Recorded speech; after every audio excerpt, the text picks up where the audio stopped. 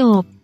ฝ่ายค้านรุมฉะรัฐมนตรีหนีตอบกระทู้แย่กว่ารัฐบาลประยุทธ์ยุนายกรัฐมนตรี ปรับออกสอสอฝ่ายค้านไม่จบยกขยงฉะรัฐมนตรีหนีตอบกระทู้ซัดแย่กว่ารัฐบาลประยุทธ์ชม จุลพันธ์มนพร มาตอบทุกครั้งจิรัฏฐ์ถาม สุทิน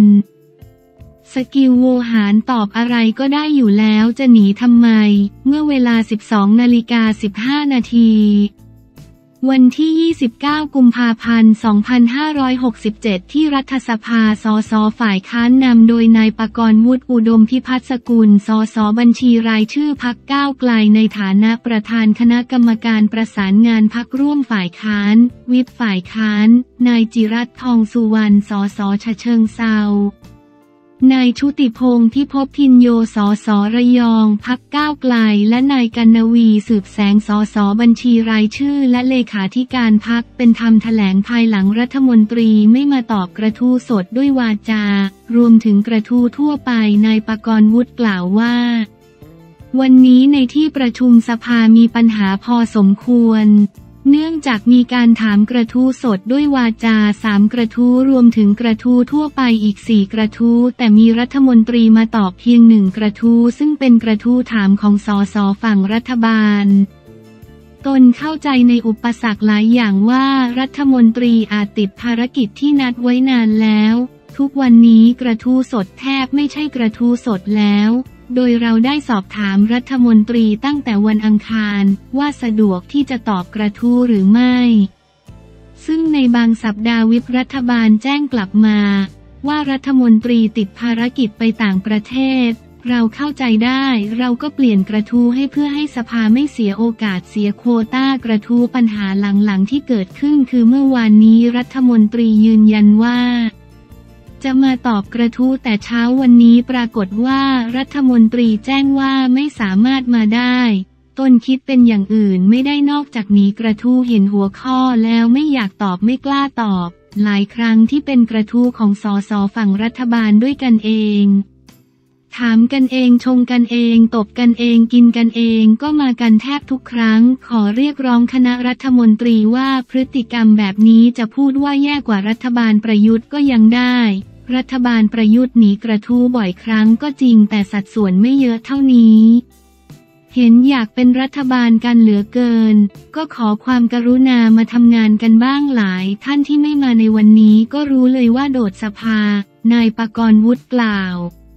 นายปกรณ์วุฒิกล่าวต่อว่า แต่ต้องให้ความเป็นธรรมกับรัฐมนตรีบางท่านที่มาทุกครั้ง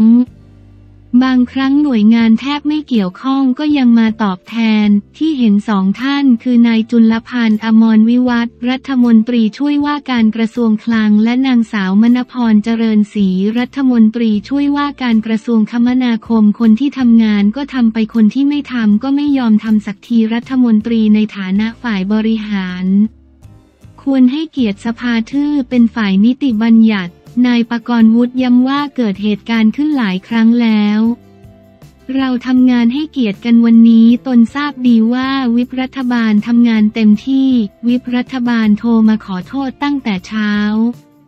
ที่ไม่สามารถรักษาคำพูดได้เนื่องจากรัฐมนตรียืนยันในช่วงค่ำแต่พอตื่นเช้าก็ไม่มาจึงคิดว่าเรื่องนี้ต้องแจ้งต่อสาธารณะว่ารัฐบาลชุดนี้ คณะรัฐมนตรีชุดนี้ทำงานกันแบบนี้ฝ่ายสภาไม่ว่าจะเป็นพักร่วมรัฐบาล พักร่วมฝ่ายค้านก็ลำบากใจส่วนจะต้องพูดคุยกับวิปรัฐบาลเพื่อหาทางออกหรือไม่นั้น ตนพยายามทำงานให้ราบรื่นอย่างช้าที่สุด บ่ายวันพุธจะแจ้งให้ คณะรัฐมนตรีรับทราบว่าพักร่วมฝ่ายค้านประสงค์ที่จะถามกระทู้สด ดังนั้นเช้าวันพฤหัสบดีหากไม่จำเป็นเร่งด่วนจริง ๆ ควรสแตนบายรอเมื่อถามว่านายกรัฐมนตรีในฐานะหัวหน้าคณะต้องรับผิดชอบด้วยหรือไม่นายปกรณ์วุฒิกล่าวว่าแน่นอนว่านายกรัฐมนตรีเป็นหัวโต๊ะ ต้องกำชับทุกคนให้ความสำคัญกับงานสภา เพราะรัฐมนตรีหลายคนยังเป็นสอสออยู่ด้านนายจิรัตกล่าวว่า วันนี้ตนได้ถามกระทู้เรื่องการกู้เรือหลวงสุขโขทัยเราอยากรู้ความจริงว่าสาเหตุของการล่มคืออะไร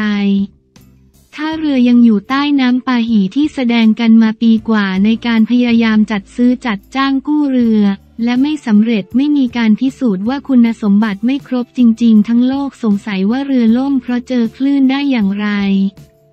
รวมถึงการจัดการในสภาวะวิกฤตเกิดอะไรขึ้นทำไมถึงปล่อยให้มีผู้เสียชีวิต แต่ก็ไม่คิดว่ารัฐมนตรีจะไม่มา เมื่อวานรัฐมนตรีมาสภานั่งกินข้าวคนเดียวในห้องอย่างเหงาเหงาให้คนไปถามก็บอกว่าวันนี้จะมาตอบ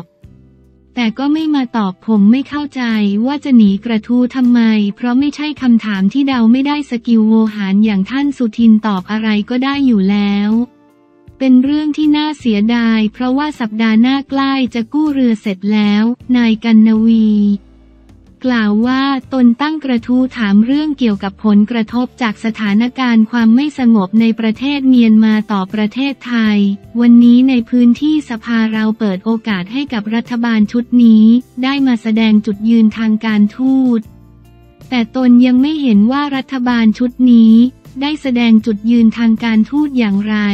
ตนความเสียใจและกังวลว่าประชาชนไทยที่อยู่ฝั่งชายแดนที่ได้รับผลกระทบจากสถานการณ์ความไม่สงบในพื้นที่ของประเทศเมียนมา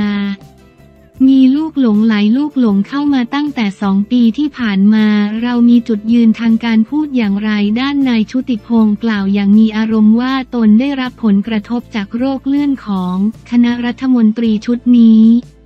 ถือเป็นครั้งที่สี่ที่พลตำรวจเอกพัชรวาดวงสุวรรณรองนายกรัฐมนตรีและรัฐมนตรีว่าการกระทรวงทรัพยากรธรรมชาติและสิ่งแวดล้อม เลื่อนการตอบกระทู้เรื่องช้างป่า ซึ่งตนได้ชี้แจงในห้องประชุมไปแล้วว่า มีคนตายตั้งแต่ช่วงปีใหม่จนถึงตอนนี้ ทั้งหมด 13 ศพมีช้างป่าตายหนึ่งตัว โดย พลตำรวจเอกพัชรวาดต้องมาชี้แจงกระบวนการแก้ปัญหานายชุติพงศ์กล่าวต่อว่าตนค่อนข้างน้อยใจคราวที่แล้วตนถามเป็นประทูแยกเฉพาะ หวังว่าจะมาตอบแต่ก็ไม่มารอบนี้ตนขอมาถามในห้องประชุมใหญ่ในกระทูทั่วไป ในวันนี้ก็ขอเลื่อนออกไปอีกแล้ว ตนก็ถามนายกรัฐมนตรีไปแล้วก็มอบหมายแล้วไม่มาตนก็ไม่รู้ว่าจะต้องทำอย่างไรที่จะให้รัฐมนตรีทำงานบ้าง ไม่กลัวโดนปรับคณะรัฐมนตรี คณะรัฐมนตรี บ้าง หรือตนก็ต้องถามนายกรัฐมนตรี ว่าจะเก็บรัฐมนตรีแบบนี้ไว้ทำไม ต้องรอให้คนตายกี่คน หากนายกรัฐมนตรีไม่รู้จะตอบอย่างไรในเรื่องนี้ ก็ขอให้ลงมารับฟังข้อมูลข้อชี้แนะในสภาแล้ว ถ้าเกิดถามนายกรัฐมนตรีแล้วยังไม่มา ตนต้องตั้งกระทู้ถามบ้านจันสองล่าหรือไม่ ถึงจะยอมมาตอบสักทีปัญหาของพี่น้องประชาชนเกรงใจบ้าง ไม่ใช่เกรงใจแต่โควต้ารัฐมนตรีด้วยกัน นายชุติพงศ์กล่าวว่าอยากเป็นรัฐบาลกันมากหรือถึงเวลาทำงาน กลับไม่มาทำงานทำอย่างไรและขอจริง ๆ วิปฝ่ายค้านวิปรัฐบาลให้เกียรติสภาบ้าง ไม่ใช่มาของบประมาณมาเอาตำแหน่งหน้าที่ของผู้แทน คือมีหน้าที่ตั้งคำถามให้ท่านมาตอบ มาตอบบ้างคำถามนี้มาจากประชาชนนายชุติพงศ์ ยังชูใบประกาศจับพลตำรวจเอกพัชรวาดฝากสื่อมวลชนว่ายังไงก็มาด้วยพี่ท่านก็มาสภาตอบไม่รู้รู้บ้าง แต่นี่ไม่มาเลยก็ไม่รู้จะอยู่ทำไมเหมือนกันตอนนี้ ฝากนายกรัฐมนตรีตามด้วยเจอในการประชุมคณะรัฐมนตรีบ้างหรือไม่ตนทราบว่าในกระทรวงก็ทำให้ข้าราชการทำงานยากพอสมควร รัฐมนตรีมีหน้าที่ทำงานเพื่อประชาชน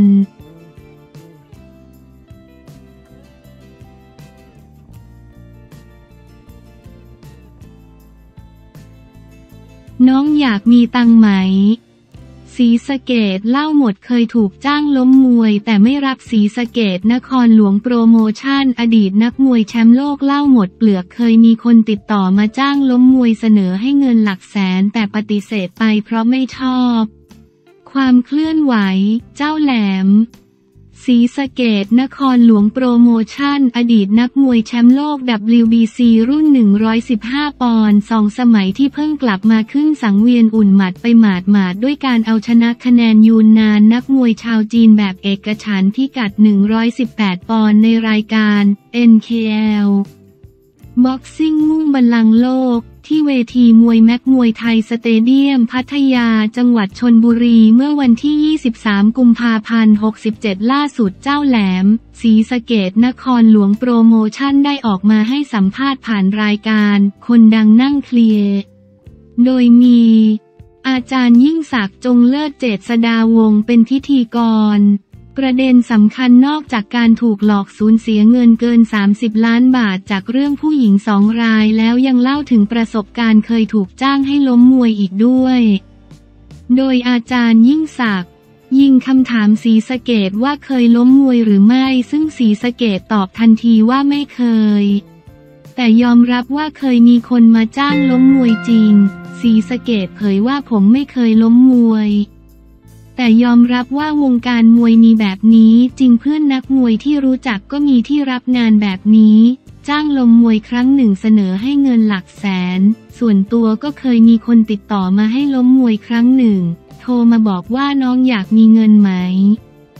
ซึ่งตอนนั้นเพิ่งจะมาชกมวยใหม่ๆ ยังไม่ได้เป็นแชมป์เสนอเงินให้หลักหมื่น แต่ก็ปฏิเสธไปเนื่องจากไม่ชอบเสียศักดิ์ศรี